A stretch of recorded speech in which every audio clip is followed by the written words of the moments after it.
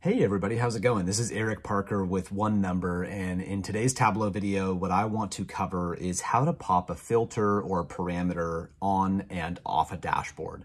Um, so let me start by showing you what I mean by that.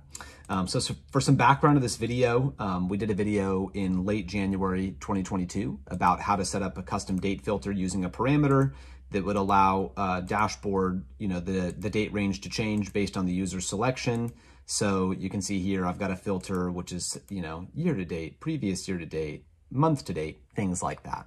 Um, I've got a whole bunch of filters here, actually. Uh, but in this case, the one filter that I really want to hone in on is just this section here, date filter.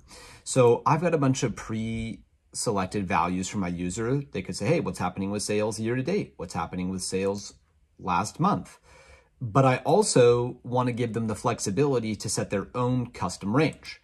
So they can select custom, and then once they've selected custom, these options down here for the custom range become eligible, right? Previously, changing those does nothing. If I have previous month selected, it doesn't matter what I select on these start and end date parameters.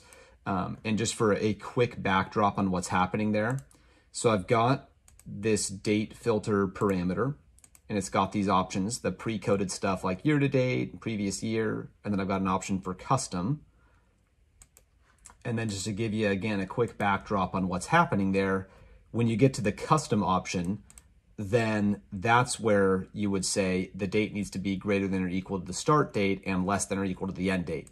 So the only times these start and end date parameters are in play is when the parameter is set to seven or custom. Uh, quick side note, I will drop a link in the description uh, or in the uh, text below to where you can download this workbook. So if you need to pick this apart or do some of your own testing against it, you will have freedom to do that. Um, okay, so back to the matter at hand here.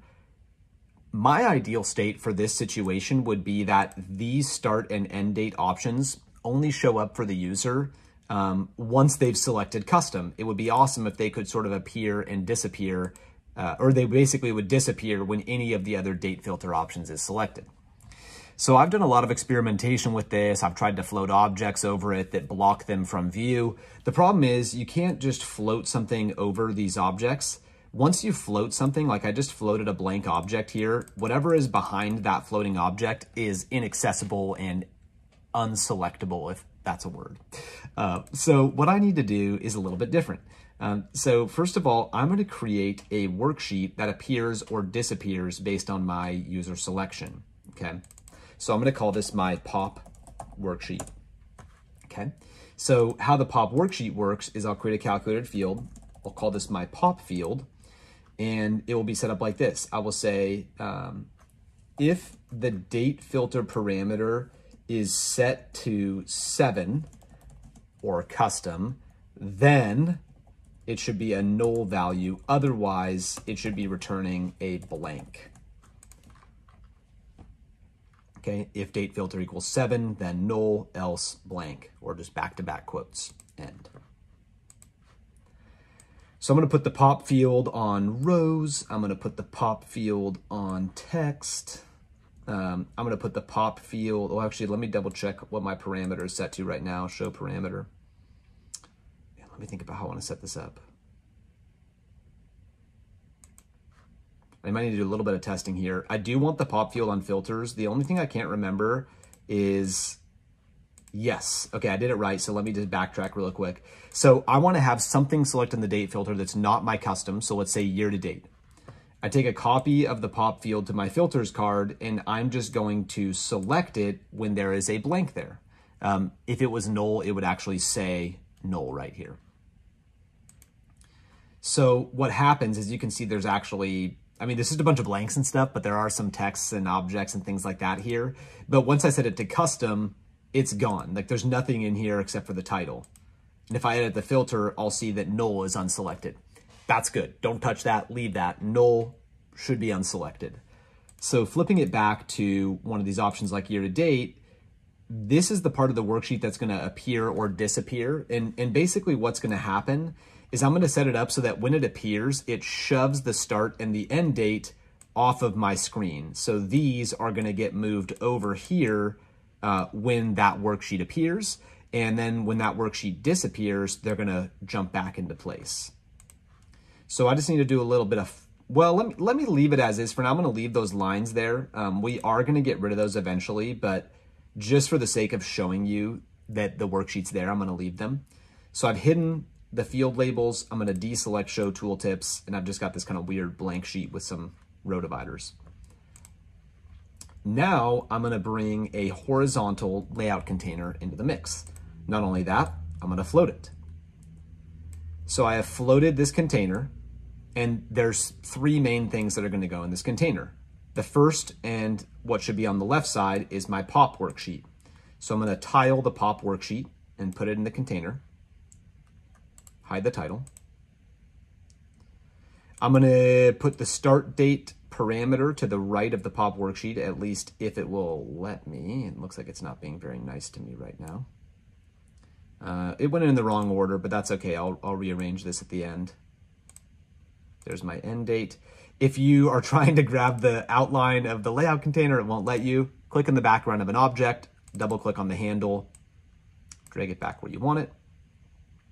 So we're gonna get this pop worksheet back to the beginning. And there's a few kind of big things that we need to do with the pop worksheet. So I need to set the fit to entire view. So I hit the fit selector on the drop down uh, of my dashboard once I've got the pop worksheet selected, go to entire view. I wanna make sure that the width of the start and the end date um, objects are, uh, what's, what's the word I'm thinking of? I, I guess I don't want them to be dynamic. So if I hit the drop down and say, oh, fix width, that's what I want. Hit the drop down, fix width. It's actually the same as hitting this pin right here. And then I'm gonna actually edit the width. I probably wanna make them a little bit smaller, I would guess. Um, I'll try 100 and just kind of see how that sits with me. Click on the my kind of pop object again. Um, I think I'm gonna need to make this entire container bigger. So basically, I gotta be careful not to drop it entirely off the sheet. But what we want to have happen is this thing.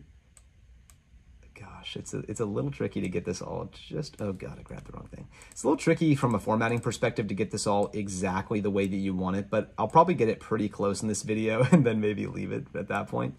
Um, so this pop worksheet, so, so check this out first of all. It's already going to be doing most of what we want. When year to date selected, this white sheet shoves these parameters off the side. And then when I set it to custom, it goes away and these parameters pop back into place. I'm gonna edit the width just a little more and then I'm probably gonna stop tinkering with this. I'm just gonna try and bring them down to just like 97. And the reason I do that is I want them to sit nicely within the lines of the uh, filters box that I've made. So year to date, select that, boom, they pop back out, right? Um, I don't really want this worksheet to have a white background like that. I want it to be transparent. So I'm gonna right click, and format the worksheet. I'm going to go to my, uh, whatever you'd call this, the paint can, and set the worksheet background to none. I'm going to go to my borders, uh, or uh, rather, that's borders, the second to last icon, and set row dividers to none. And so we're actually extremely close to where we want to be. Um, again, custom brings it back into play. Year to date pushes it off.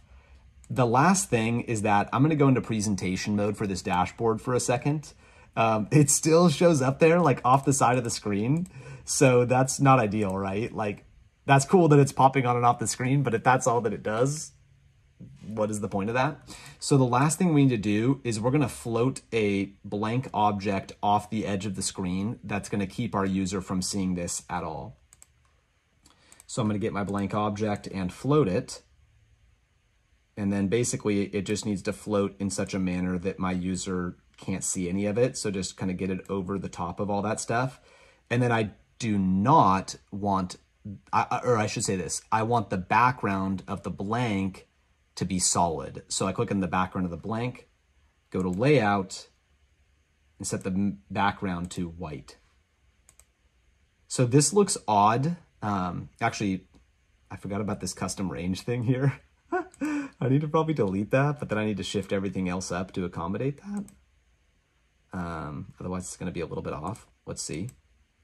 Set it to custom and see where it shows up. It actually seems to be doing okay. So in reality, I probably would want to move everything up a little bit, but since it's all working, I'm just going to leave it as is. So yeah, the cool part here is that my user is only going to see these when custom is selected, and they're not going to see them when custom is not selected. Um, so let me go into my presentation mode one more time. You can see here I actually need to extend the width of the blank a little bit. And I, do, I should just say this, this entire setup that I'm doing right now is gonna work best with a fixed size dashboard. So you can see my dashboard is a 1000 tall by 700 wide. That's probably the best case scenario. If your dashboard is dynamic, I'm not sure how well this is going to work. Um, but here in layout, instead of the width of this blank being 172, let me just throw it all the way up to 200. I don't really care how wide it is. It just needs to be wide enough so that my user, you know, wouldn't see anything funny here. And I do realize that I'm seeing this like white object. So I could first of all turn it to gray, or I believe on Tableau Server, the background is naturally white unless you override that default. So that may be best to leave the background as white.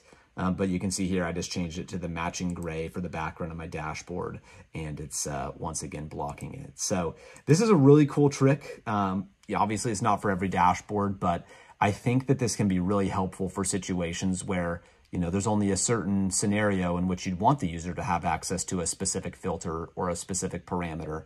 And you can use this trick of creating a pop worksheet, which has got a filterable field um, and basically this the worksheet disappears or there's no values that show up when custom, or I'm sorry, when anything but custom is selected. So when I've got year to date selected, the worksheet basically shows up, but when custom is selected, there's nothing to show and it collapses these back into the area where I want them. So I know this is kind of fast. Feel free to revisit. I'm going to drop a link to the finalized dashboard uh, in the description. So if you want to check this out on Tableau Public, download it and try and recreate it for yourself um, then you can. And if you have questions or if you need help creating this, let me know. I'm happy to kind of follow up with comments or you can even book me on something like an office hour um, so we can set this up for your own dashboard. So thanks for checking out the One Number YouTube channel. We appreciate the support um, and we look forward to catching you here on another video next week.